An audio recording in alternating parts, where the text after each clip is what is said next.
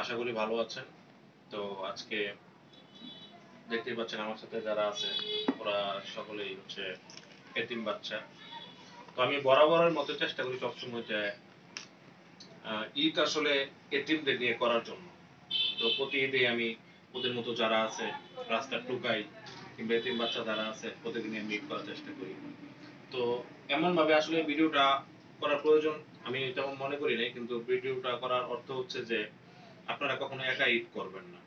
এরকম এতিম ছেলে মেয়ে যারা আছে, আপনাদের বাসার আশেপাশে অনেক এতিম বাচ্চা আছে, রাস্তায় কিন্তু অনেক এতিম বাচ্চা আছে, ওদেরকে নিয়ে ঈদটা করুন। ঈদ হচ্ছে একটা খুশির একটা ব্যাপার স্যাপার, ঠিক আছে? তো আসলে সকলকে নিয়ে ঈদ করার চেষ্টা করবেন। তো আমি মোটামুটি চেষ্টা করছি যে মোটামুটি প্রায় একশো জন একশো জন এতিম বাচ্চা এবং টুকাই যারা আছে, ওদেরকে নিয়ে ঈদ করার জন্য।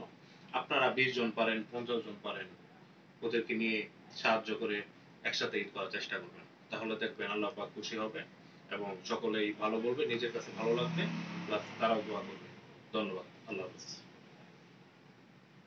এটা হয় নাই? আবার করতে